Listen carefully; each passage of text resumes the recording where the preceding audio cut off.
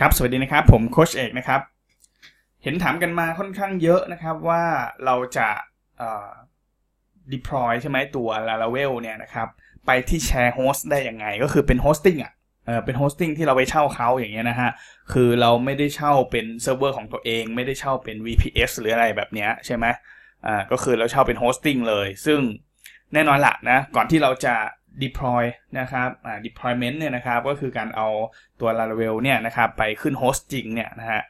เราก็จะต้องคำนึงถึงอะไรบ้างเนาะ อย่างแรกก็คือเราต้องดู host ที่เราเช่านะครับ อย่างเช่นอ่าเดี๋ยวผมมาที่ installation นิดนึง โอเค เนี่ยก็คือ server requirement เนี่ยนะครับ เราดูก่อนว่าเป็น PHP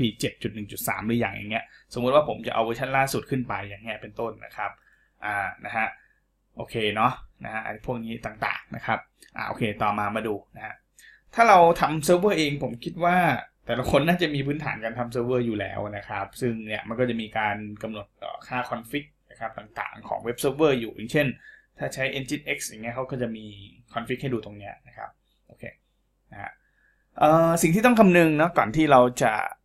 เอาไปขึ้นตัว share host นะหรือไปขึ้น hosting เนี่ยนะครับ อย่างแรกเลยก็คือเราเนี่ยอาจจะต้องมา optimize อะไรต่างๆก่อนนะครับ อย่างเช่นไอ้เจ้า auto load ของ Composer เนี่ยนะครับก็รันคำสั่งนี้ก่อนคือรันในเครื่องเราก่อนนะฮะให้เรียบร้อยแล้วก็เนี่ยฮะมีการที่จะ cache ตัว config file นะครับด้วยนะก็ควรที่จะทำก่อนก่อนที่จะเอาขึ้น hosting นะครับแล้วก็ควรที่จะมีการ config ตัว route cache นะครับก็คือ cache route ด้วยก็คือมี 2คำสั่งเนี่ยคือทำในเครื่องก่อนก่อนที่จะเอาไปขึ้นนะฮะแต่ถ้าเราจะ development ต่อ ถ้าเราจะพัฒนาต่อก็อย่าลืม clear cache พวกนี้ด้วยนะนะฮะไม่งั้นเอ๊ะทำไมเปลี่ยน config แล้วไม่เปลี่ยนนะฮะแสดงว่าเรา config อยู่แสดงว่าเรา cache อยู่เพราะนั้นนะครับเราควรที่ทำสองคำสั่งนี้ก่อนนะฮะอะโอเคเพราะฉะนั้นหลังจากที่เรียบร้อยแล้วนะครับโอเค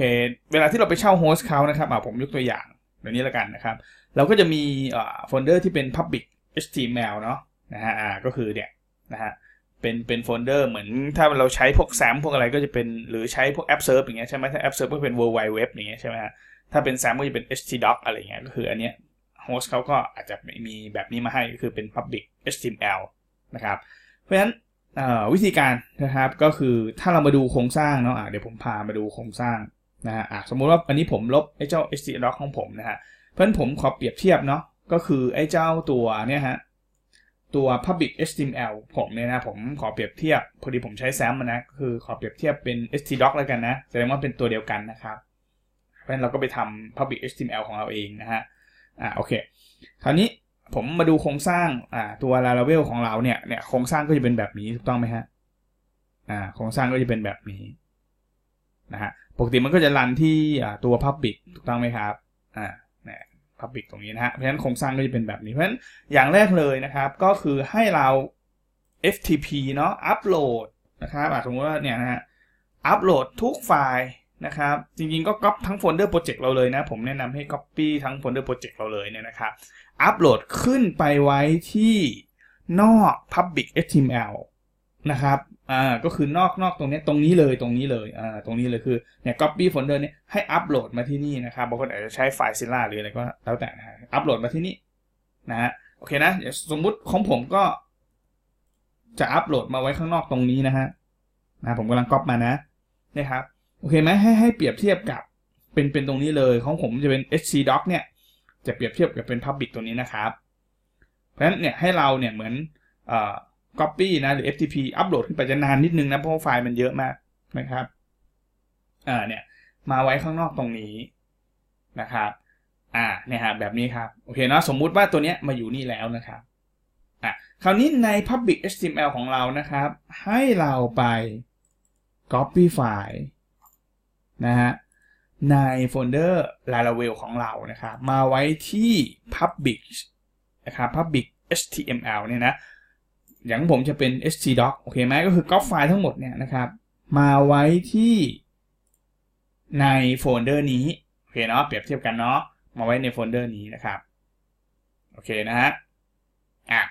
โอเค ต่อมานะครับให้เราเปิด index.php นะครับเพื่อแก้ไขผ่านเพื่อที่ให้มันลิงก์มาที่ตรงนี้นะฮะอะแก้ไขผ่านให้มันถูกแล้วไม่งั้นก็จะไม่เจอใช่ไหมอ่าก็จะไม่เจอนะครับเพราะฉะนั้นผมคลิกขวาแล้วก็ edit ใน Notepad อ่าโอเค วิธีแก้คือให้เราเติมนะครับ ชื่อโฟลเดอร์ตรงนี้ฮะที่ที่ทุกคนตั้งฮะตรงนี้ครับเนี่ฮะ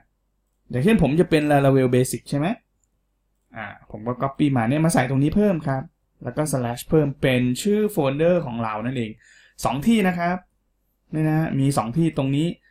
กับตรงนี้เห็นไหมฮะแล้วก็เซฟนะครับ แก้ไขตรงนี้ไป นะคือแก้ไข path ให้มันถูกต้องมันจะได้วิ่งมาที่ออโต้โหลดกับแอป .php ที่ถูกต้องนะครับผมเซฟนะครับอ่าของเราก็เข้าโดเมนเราได้เลยฮะ ทดสอบดูฮะ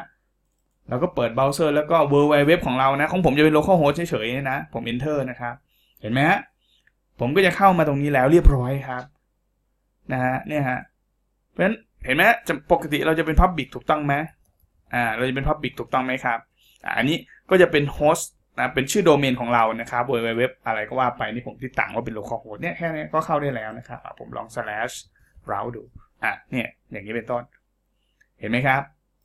เพราะฉะนั้นผมก็สามารถทำได้นะครับเอ่อข้อควรระวังนะครับ ถ้าเราใช้ตัว hosting นะครับ ก็ step ต่อมาก็คือต้องไปเอ่อ change mode ใช่ไหมก็คือให้ folder storage นะครับ ตรงนี้ให้มันอ่านเขียนได้นะครับอาจจะ เป็นเซ็ตโหมดเป็น777 หรืออะไรก็แล้วแต่นะครับ กับโฟลเดอร์ cache ใน bootstrap นะครับ ก็คือโฟลเดอร์นี้ด้วย อันนี้ step ต่อมานะครับ ไม่งั้นเราจะขึ้น เดี๋ยวมันจะขึ้น error 500 นะฮะ โอเค ก็มีโฟลเดอร์อะไรนะ เมื่อกี้ มี storage ใช่ไหมอ่า มี storage นะครับ อ่า เนี่ยโฟลเดอร์นี้ฮะ